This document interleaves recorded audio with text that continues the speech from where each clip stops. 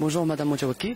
Bonjour. Madame Moutchawaki, président du Conseil des pharmaciens du Sud et membre de... Membre du Conseil national. Bienvenue Madame. Tout d'abord, je voudrais savoir votre impression concernant les journées pharmaceutiques organisées par les étudiants en pharmacie. Euh, je suis agréablement surprise par la qualité de l'organisation, par le choix des thèmes.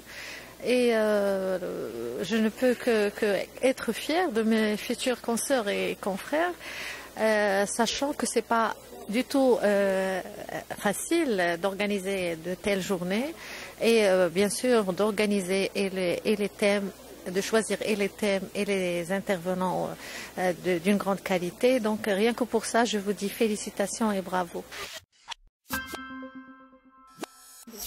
Docteur Delagy, vous étiez notre euh, invité aujourd'hui. Pouvez-vous nous dire euh, comment vous avez trouvé euh, la première séance inaugurale des journées pharmaceutiques? Sincèrement, j'ai été ravi et enchanté d'être parmi vous. je ne pouvais pas manquer ce rendez-vous. D'une part, voir un petit peu leur dynamisme et surtout partager avec vous mon expérience, mon vécu et aujourd'hui, euh, l'ambiance, on va dire qu'elle est très sympathique et très confraternelle. L'organisation, elle est bonne. Les thématiques sont très intéressantes. Moi, je pense que ça sera, Inch'Allah, une, une, très bonne édition et, je vous félicite pour votre dynamisme. Merci. Y a-t-il des remarques auxquelles vous voudriez euh, faire peut-être pour euh, qu'on se développe la prochaine fois ou faire de notre mieux peut-être euh? Au fait, il faut se développer en essayant de toucher d'autres mondes.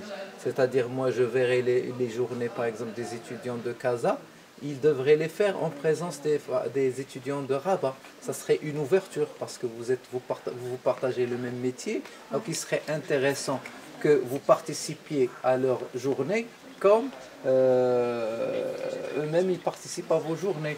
Peut-être pourquoi pas ne, pas s'ouvrir sur les médecins, inviter les médecins ou des pharmaciens d'autres pays. Je crois que l'avenir est à l'ouverture. Le monde est en train de s'ouvrir de plus en plus. Donc vous, continuez à faire ce que vous faites. Vous le faites très très bien. Mais si vous pouvez vous ouvrir sur d'autres horizons, ça sera une bonne chose pour les étudiants. Oui, je tiens à vous informer que les étudiants de pharmacie de, Casablanca, de Rabat étaient informés, euh, y compris les médecins aussi. On souhaite les voir euh, peut-être durant euh, nos, nos prochaines conférences. Je vous remercie pour votre intervention et je vous dis à la prochaine.